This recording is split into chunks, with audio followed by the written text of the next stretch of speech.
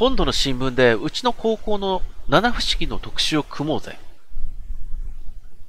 部長の一言で僕たち新聞部は学校の七不思議を特集することになった。今年の夏に長い間使われていなかった急行車が取り壊されることになり、それに合わせて恐怖ネタをやりたいということだった。そしてまだ1年生で新人の僕がその担当に選ばれてしまったわけだ。けれど、どんな怖い話がこの学校に伝えられているのか僕はよく知らない。そこで、学校の七不思議にまつわる話を知っている人たちを、先輩が部室に集めてくれることになった。先輩は用があって来れないらしく、実際には僕が仕切らねばならなくなった。集まった7人が誰なのか、会ってみるまでわからない。今日の放課後、部室にその7人が集まるという。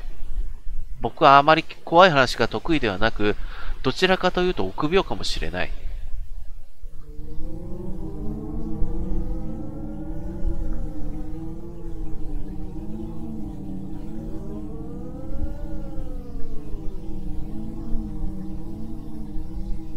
今日はどんよりとした灰色の雲が空一面を埋め尽くし、いつ雨になってもおかしくない天気だ。吹く風もじめっとしていて、肌にまとわりついて離れない。なんでこんな日に薄暗い物質で怖い話を聞かねばならないのか、僕は逃げ出したくなってきた。それとも自分の意志とは反対に、足が物質の方へ勝手に向かっているのは、心のどこかで怖いもの見たさという思いがあるからだろうか。部室のドアを開けると、一斉に12個の目が僕の方を見た。部室の真ん中に置かれた大きなテーブルを囲むようにして、6人の男女が静かに座っていた。あまりの静けさに、僕は部室のドアを開けるまで誰もいないと思ったほどだ。6人は僕の確かめると、テーブルの一点を注目するように顔を落としてしまった。僕の知っている顔はなかった。学校が大きいから同学年でも見たことのない顔があっても不思議ではない。集まっている6人も雰囲気からそれぞれが見ず知らずのように思える。6人？先輩の話では7人に声をかけるということだった。ということは、まだ1人来ていないのだろうか。僕はとりあえず空いてる席に座った。誰が喋るということもなく、なんとも気まずい無言の時間が過ぎていく。僕が話せばいいのだけれど、なんとも話しづらい雰囲気だ。みんな下を向いたまま、ピクリとも体を動かさない。そして、来たるべきはずの7人目も、一向に来る気配がない。ただいたずらに時間だけが過ぎていく。いつまでこうして、いつまでもこうしていてもどうしようもない。あの、皆さんお忙しい中集まっていただいたと思いますので、そろそろ始めたいと思うのですが、僕は思い切って声をかけてみた。7人集まると聞いてたんだけど、君が7人目なのかい？それとも、君は僕たちの話を聞く新聞部の人なのかい？中の一人が、うつむいたまま目だけを僕の方に向けてぼそりとつぶやいた。なんて陰気そうな人だろう。僕は彼に見られただけで背筋が寒くなるのを覚えた。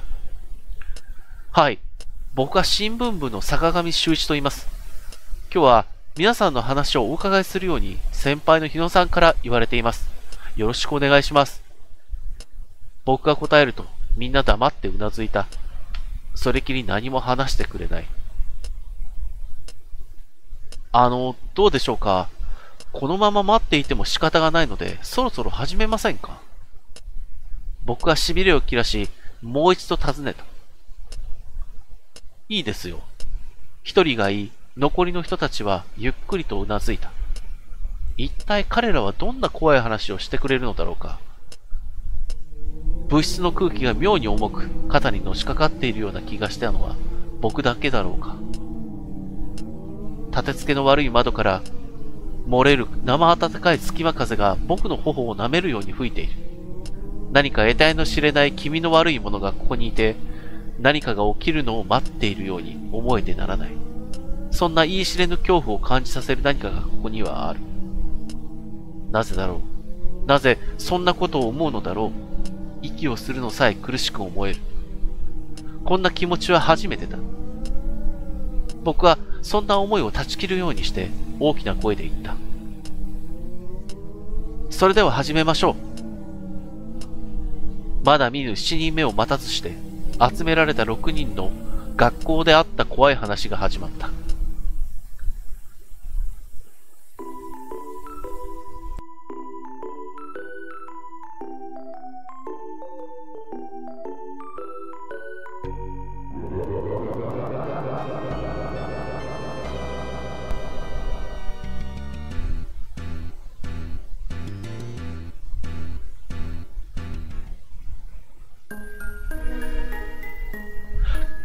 ご機嫌いかがですかバニラエースです。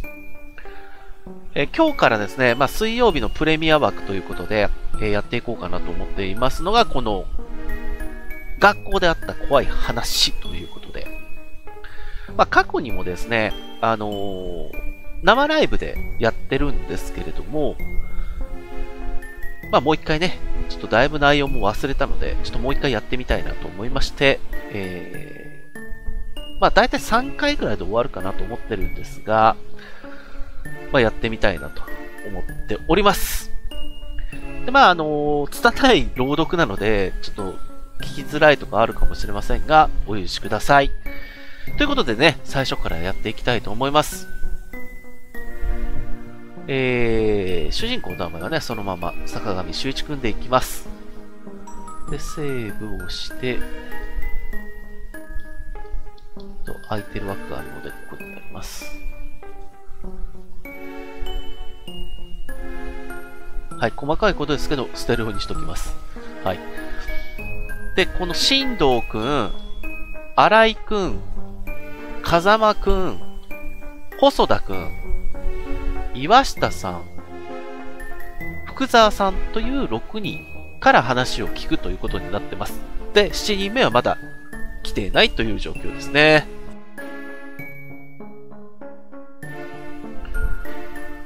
それで誰から行きますかね。まあ、サウンドノベルだし、えー、これは本当無数に話が分かれてるので、特に答えもないし、もう、誰を選んでもいいんですけど、そうだな荒井くんから行こうかな。前はね、細田くんからやったのかな。うん。あのー、まあ、とりあえず、この人が初見かなとあの、最、最初のトップバッターとしては初見なので、ちょっとやってみたいと思います。ぐだぐだだから許してね。僕は2年 B 組の荒井昌司と言います。それじゃあ、僕が最初の話をしましょう。あの、突然ですが、自爆霊って知ってますか？浮かばれない霊が、成仏できずにその場所に居ついてしまうということを自爆霊って言うんですよ。例えばよく呪われた家とかあるでしょ。その家に住んでいる人は何も心当たりがないのに霊に悩まされてしまう。夜中にうめき声が聞こえたり、誰もいないはずの部屋で足音や物音が聞こえてくる。そのうち家族の誰かが病気になったり、突然の不幸にあったり、ついには死んでしまうことさえある。それで引っ越しをすると、今までの出来事がまるで嘘のようになくなってしまう。これは、その家についている自爆霊の仕業ってことが結構あるんですよ。その場所についている霊だから、そこにやってきた人の問題ではないわけですね。そして、その人がいなくなれば、また次にやってくる人をただじっと待っている。生前深い恨みを持ったまま死んだ人が自爆霊になる場合が多いと言われています。もっとも人ばかりではなく、動物や自然的な力が作用するものもあるらしいですけどね。自爆霊を消すにはお祓いをするのが一番なんですけれど、中にはお祓いではどうすることもできない強力なものもあるんです。そういう場所はもうただ放っておくしかありません。誰も手を出すことができないわけですからね。今の日本にも結構多いんですよ、そういう場所。で、僕たちの学校にもそういう場所があるのを知ってます？その場所に行くとなぜかよく転んでしまうんですよ。しかも骨折したりひどく腫れ上がったり。ただ転ぶだけなのに、手や足に大怪我をするんですよ。別にねじったわけでもなく、そこにくぼみや出っ張りがあるわけでもない。なのにそういう事故が絶えないんです。そういう場所はやっぱり自爆霊がいるんじゃないかと、僕は思うんですよ。もっともそういう事故があったと言ってももう20年以上前の話なんですけどね。今はそういうことは起こりません。いえ、起きないからといって自爆霊がいなくなったわけじゃないんです。今もちゃんとここにいるんですよ。でも、事故は起きなくなった。なぜだと思います？なんだろうね。なんか、こう人が入れないように作った感じがするな。なんか気まぐれな例なので眠ってるとか、なんかちょっと自分さっきの自爆霊のあれは関係ない感じでする。まあ特に答えないんで、まあまあ2番で、人が入れないように何かを作ったいきましょう。いやー、あなたがいい感じしてますね。そうなんですよ。ここに人が入れないようにしたんです。じゃあ、そこに何を作ったと思いますか？えー、体育館。いや、体育館呪われるよね。花壇あなた、この話を知ってましたか？体育館の裏に花壇があるでしょう。あれが、あれが実はその場所だったんです。昔いた先生があまりにあそこで事故が起きるので花壇にしたんですよ。花壇にしたからといっても、誰も入らなく、人、誰も人が入らなくなったわけではありません。花壇を世話する園芸部の人たちは終始出入りしてましたからね。それでも、どういうわけかそれっきり事故は起きなくなったんです。まあ、それまでに比べたらめっきり人の出入りは減ったわけですからね。そのためか、それとも花壇を作ったことが功を奏したのか、その理由は定かではありません。それとも、何も起こ起きなくなったのは事実です。でも花壇を作った頃はみんな気をつけていたんですよ。あの頃は、あの事故のことを誰もが知っていましたからね。園芸部の人たちも最初は恐る恐る花壇の世話をしていたらしいですよ。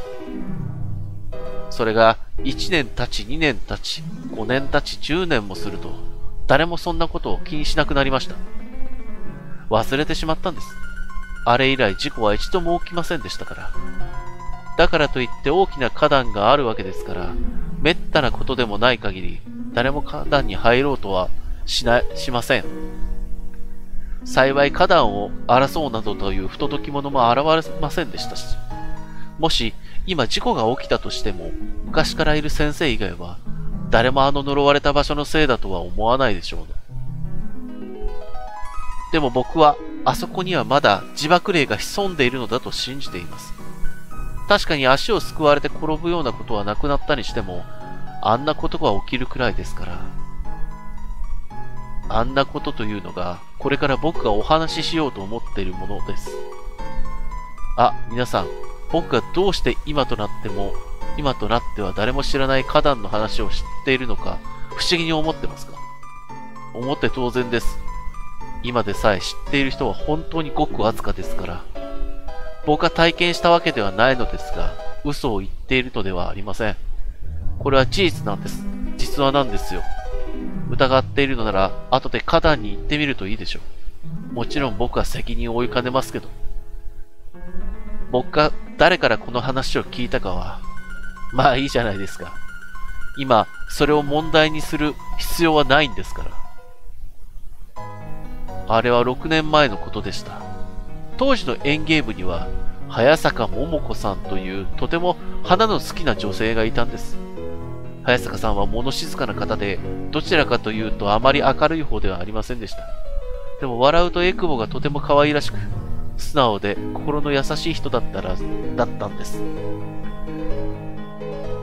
毎日放課後になると彼女は花壇の世話をしていました。まるで花が自分の血を分けた姉妹でもある、姉妹でもあるかのように、親身になっていたわるように世話をしていたのです。園芸部の誰より。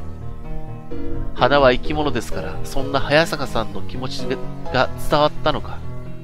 花も愛情に応えて見事な花を咲かせました。普段、花に興味のない一般生徒たちも皆花壇の前を通ると足を止め、その美しさに見入ったものです。先生たちも早坂さんが手入れをするようになった花壇を実に見事だと簡単の声を漏らすよう、漏らすほどでした。季節は6月になりました。紫色のアジサイが雨水に濡れて美しい花をあの花壇いっぱいに咲かせていた頃のことです。その年の梅雨は一層ひどく、太陽など一日も拝めなかったほどでした。毎年のように雨が降り、みんなの気持ちまで、あ、毎日のように雨が降り、みんなの気持ちまでめいるような日々が続きました。花っていうのは雨ばかりでもまずいそうですね。日の光が当たらず雨続きだと育つものも育たなくなってしまいます。それでも、早坂さんは雨の日も毎日毎日花の世話に追われました。もちろん、辛いことなどありません。花の世話ができるのが嬉しくて毎日せっせと面倒を見ていました。でもそれがただったんです。あまり体が丈夫な方ではありませんでしたから。もうすぐ梅雨も終わるだろうというある日、彼女は肺炎で寝込んでしまったんです。寝込んでも彼女の心配は花壇のことばかりでした。自分が学校に行けないのが辛く、苦しく、花が無事に育っているか、来る日も来る日も気にしていました。彼女のかかった肺炎は大変に重いものでした。一週間を過ぎても熱は下がらず、容体は悪くなる一方でした。その時、花はどうなっていたと思います？選択肢きましたね。1、花は無事に育っていた。2、花は枯れ始めて枯れ始めていたんじゃないですか。そうなんですよ。他の園芸部員たちが一生懸命に面倒を見たにもかかわらず、花は次第に枯れていったんです。一生懸命と言っても、やはり早坂さんにはかなわなかったんでしょうね。美しく華やいでいた花壇は、あっという間に見る影をなくしてしまいました。驚いたことに、雨に強いアジサイまでもがどういうわけか枯れてしまったんです。みんなは口々に、早坂さんのことを寂しがって花が枯れてしまうのだと言い始めました。それでも彼女は元気になりませんでした。仲の良かった園芸部員たちがお見舞いに行くと、みんな元気しおれていないそう彼女は尋ねました。自分の体よりも花のことが心配でつい話題と言っても学校の花壇のことになってしまうのです。園芸部員たちは顔を見合わせて黙っていました。本当のことを言いづらいし、かといって嘘をついてもいいものかどうか。彼らは何て言ったと思います？ああ、まあ、無事って言うよな。えー、彼女は喜びました。自分の病気が治った時でも、こんなに喜ばないだろうというくらい喜びました。あまり喜ぶので、園芸部員のみんなは罪の意識に苛まれてしまいました。けれど、聞くところによると、かなり容体は悪いらしく、もし本当にこのまま治らない病気ならば、言わない方が彼女のためのような気がして、みんなは無理に笑ってみせました。花はとっても元気で、こんな雨の日もみんな花を咲かせているのよ。不思議でしょ？今は可愛がっていたアジサイが満開よ。そうね。早坂さんが植えたひまわりが咲く頃には退院できるといいわね。だから早く元気になってね。別名花壇の番人がいないと寂しいしね。彼女はお見舞いのみんなが帰っていた後そっと考えました。そう思えば思うほど花壇の花たちのことを考えてしまいます。自分のことは自分でよくわかる。お医者様よりわかるのよ。本当は自分はもう長くないってこと。このままもうここから出れないのなら最後に花壇の世話をしたい。そしてお別れを言いたい。と。そして学校に向かいました。起きるのさえやっとの体だというのに。外は梅雨独特の音も立てないような雨が降っていました。肌寒く、梅雨によくある冷え込みとは違う、底冷えのする日です。梅雨ももうじき終わるというのに。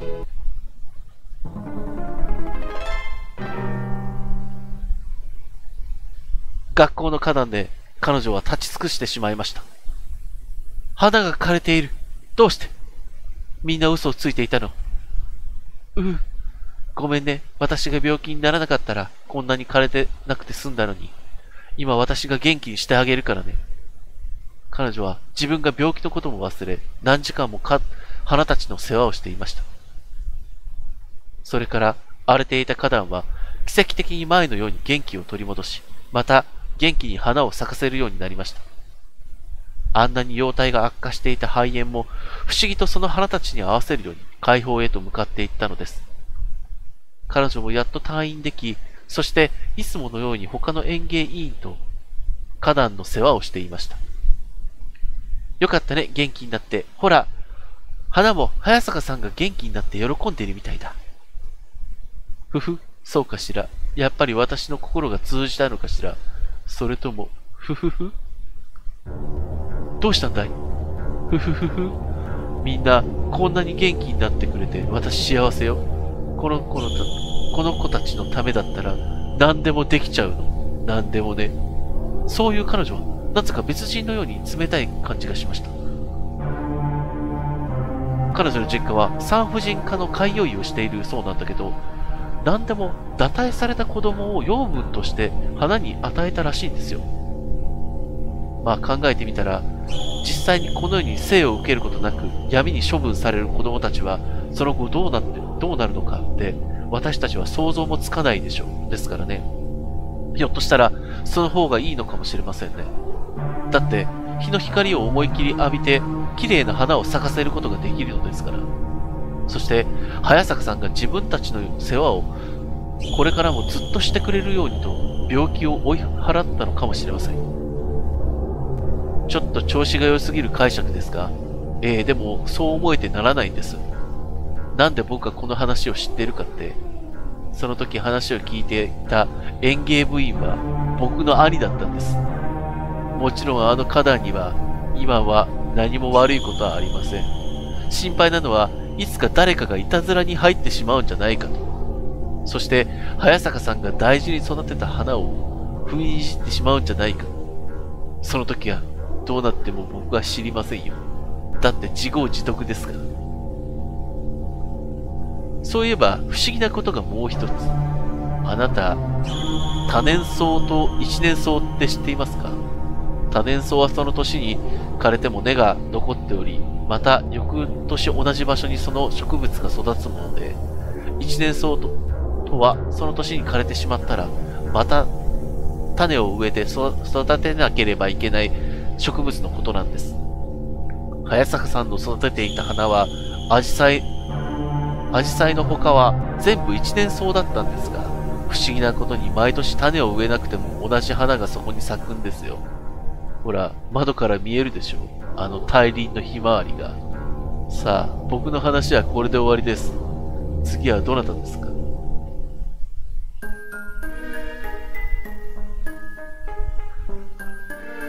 ？1話目から不気味な話でしたね はい、ということで、ちょっとあのー、なんでしょう、序章というか、えー、っと、プロローグの部分も朗読したので、ちょうど30分ぐらいになってるので、まあ今日はこれで終わりたいと思います。ちょっともうちょっとね、次回はペースを上げて、あのー、まあ2話目、3話目みたいな感じでやっていきたいと思ってますんで、よかったらね、続きも見ていただけたらと思います。ということで、次回の動画、次回の配信でお会いしましょう。バイなら、バイネラエスでした。